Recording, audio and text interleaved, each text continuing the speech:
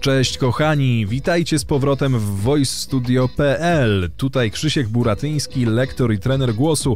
Mam dla Was dzisiaj pewien temat, który narodził się na przestrzeni ostatniego miesiąca. Jest to temat, czy pytanie właściwie, które zadajecie mi ostatnimi czasy bardzo często. I postanowiłem dzisiaj trochę czasu temu pytaniu właśnie poświęcić, bo jest y, ciekawe i myślę, że jest dość ważne w dzisiejszych czasach, zwłaszcza teraz w czasach pandemii, kiedy jednak trochę więcej czasu spędzamy w domu i nasze e, systemy nauki, przyswajania nowych umiejętności bardzo mocno się pozmieniały.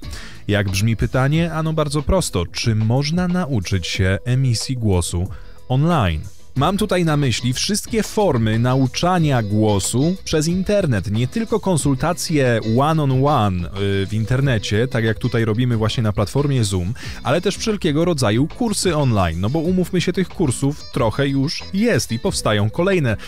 Nie ukrywam, że sam teraz przygotowuję kurs, który już w czerwcu pojawi się na platformie Udemy, na którym będziecie mogli, myślę, sporo się nauczyć o pracy głosem, ale do tego jeszcze będę wracał w swoim czasie, yy, póki co nie o tym dzisiaj mowa. Pytanie jest jak najbardziej zasadne, bo uczymy się właśnie nowych umiejętności przez internet. Kupujemy kursy, zamawiamy różnego rodzaju szkolenia, robimy właśnie konsultacje online z różnych dziedzin yy, i z różnych umiejętności i pytanie, czy emisja głosu też jest możliwa do wytrenowania przez internet. Żeby zrobić to w jak najbardziej kompleksowy i sensowny sposób, postanowiłem zrobić po prostu bilans plusów i minusów takich rozwiązań, rozwiązań właśnie mm, dostępnych online. Przegadamy sobie plusy tego rozwiązania, przegadamy sobie minusy tego rozwiązania i na koniec to podsumuję. Myślę, że w taki sposób każdy z Was będzie w stanie no, dojść do własnych wniosków i, i stwierdzić, czy takie nauczanie online to jest coś, co na przykład Wam może się przydać. Zaczniemy od minusów. Miejmy z głowy złe wiadomości, później zajmiemy się dobrymi wiadomościami.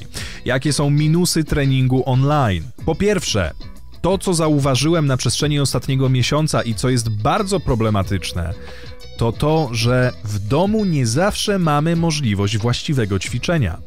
I ten problem dotyczy między innymi właśnie ćwiczenia emisji głosu. Kiedy uczymy się programowania albo kiedy uczymy się języka obcego, to ćwiczenia, które wykonujemy zazwyczaj no nie wiążą się z jakąś dużą liczbą decybeli, nie są po prostu głośne, prawda? Z głosem niestety tak nie jest. Ćwiczenia, które tutaj robimy, pomimo że niektóre można zrobić oczywiście bezgłośnie albo prawie bezgłośnie, te ćwiczenia wymagają jednak wydania z siebie głosu.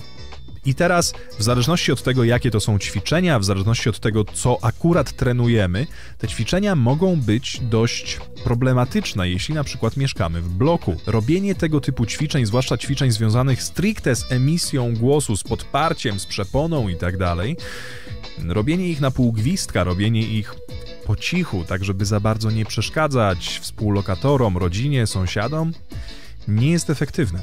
Jest mało efektywne. Oczywiście da się takie rzeczy obejść, prawda? Można ćwiczyć w takich porach, kiedy akurat nikogo nie ma, można ćwiczyć w, taki, yy, w takim pomieszczeniu, w którym na przykład nie jesteśmy ogrodzeni sąsiadami dookoła i tak dalej. Są oczywiście sposoby na to. Ale trzeba mieć to na uwadze. Emisja głosu będzie w treningu wymagała od nas wydawania z siebie głośnych dźwięków. Musimy być na to gotowi. Drugi bardzo ważny minus.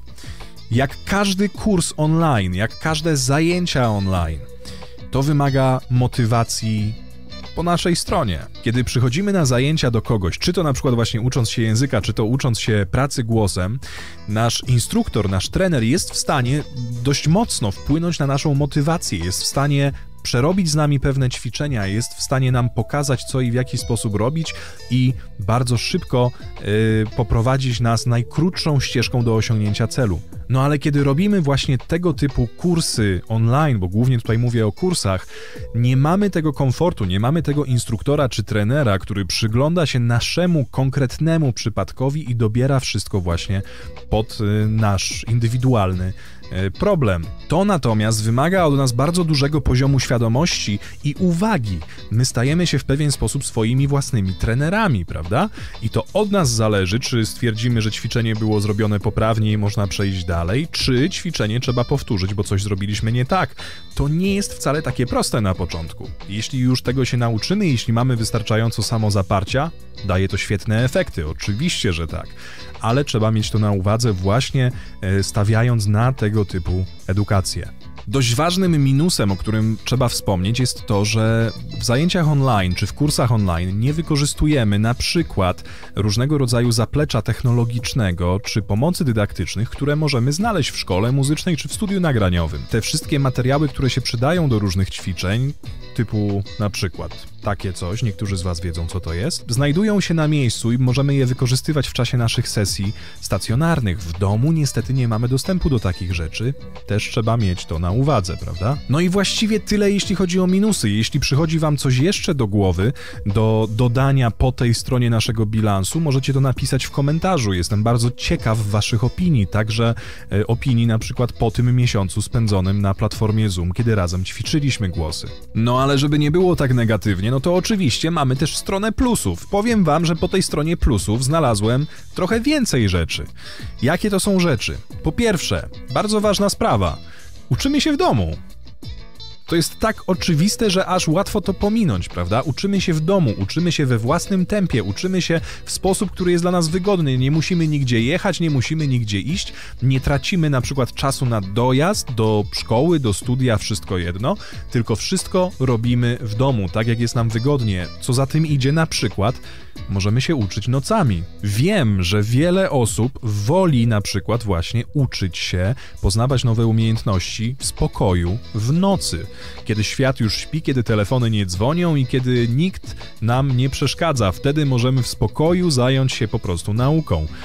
No, ciężko jest się umówić na sesję w studiu czy w szkole muzycznej po nocy, wiadomo, prawda? Więc to jest bardzo duży plus. Druga zaleta: uczymy się w swoim tempie. Możemy iść przez ten kurs czy przez te zajęcia tak wolno lub tak szybko, jak nam się żywnie podoba. Nikt nie powie nam, że nie możemy zrobić kursu rozpisanego na dwa tygodnie w ciągu jednego na przykład dnia. Jeśli faktycznie przesiedzimy te kilka godzin ciągiem przed komputerem, możemy tak zrobić. Musimy oczywiście mieć świadomość tego, czy przyswajalność wiedzy i ćwiczeń jest na odpowiednim poziomie, czy na przykład warto później do jakichś newralgicznych punktów wrócić. No ale tutaj kolejny bardzo ważny plus. Jeśli mamy kurs online, możemy do każdego punktu wrócić i powtórzyć go tyle razy, ile tylko potrzebujemy. Jeśli mamy zajęcia online, na przykład na platformie Zoom, możemy je nagrać. Też możemy do tego wrócić, jak do notatek, które zapisują 100% tego, co się wydarzyło. To jest niesamowicie ważny plus przy tego typu nauce. Co do ćwiczeń samego głosu, dużo rzeczy da się wyćwiczyć bez problemu w domu. O ile, tak jak powiedziałem, emisja głosu, praca przeponą mogą być czasem, nie zawsze, czasem trochę problematyczne, o tyle już na przykład kwestie dykcji, artykulacji czy prawidłowego oddechu bez problemu możemy wyćwiczyć właśnie przy zajęciach online czy przy kursie online. Tutaj nie ma żadnych przeciwwskazań i wcale przy tego typu ćwiczeniach nie musimy wyrzucać z siebie potężnych, głośnych, nośnych dźwięków, które będą przeszkadzały sąsiadom czy e, rodzinie. No i jeszcze jeden bardzo ważny plus, no nie mogłem o tym nie powiedzieć, to cena. Cena kursu online, który zawiera 4 albo 6 godzin faktycznej nauki, faktycznej wiedzy od dobrego instruktora, jest porównywalna z ceną zaledwie jednego spotkania, jednej konsultacji z taką osobą nie da się po prostu pobić tej ilości wiedzy i tej potężnej paczki e, materiału, którą się dostaje w cenie pojedynczej konsultacji. To jest bardzo ważny element tego wszystkiego, nie ma co udawać, że tak nie jest. Oczywiście wiąże się to z różnego rodzaju ograniczeniami, między innymi to, co już powiedziałem o motywacji. Instruktor nie jest w stanie nas pilnować, nie jest w stanie nas kontrolować, musimy robić to sami i to czasem bywa problematyczne, ale jeśli z tym jesteśmy w stanie sobie poradzić, to cena jest absolutnie absolutnie nie do pobicia. No i tak to wygląda, moi drodzy. Mam nadzieję, że ten temat w miarę wyczerpująco poruszyłem. Jeśli macie jakieś dodatkowe przemyślenia, pytania, spostrzeżenia, piszcie śmiało w komentarzach. Z chęcią się dowiem, co myślicie, bo ten temat oczywiście bardzo zachęca wręcz do dyskusji. No i cóż, jeśli chcecie, zaglądajcie oczywiście na fanpage'a voicestudio.pl, tam wszystkie ćwiczenia, ciekawostki i inne rzeczy na bieżąco się pojawiają. No i jeśli się stęskniliście bardzo za ćwiczeniem, za pracą z głosem. Oczywiście zapraszam na zajęcia indywidualne online na platformie Zoom. Wszystkie szczegóły dostępne u mnie na fanpage'u albo mailowo krzysiekmałpa.voicestudio.pl No i cóż, widzimy się już za tydzień. Trzymajcie się zdrowo i do usłyszenia.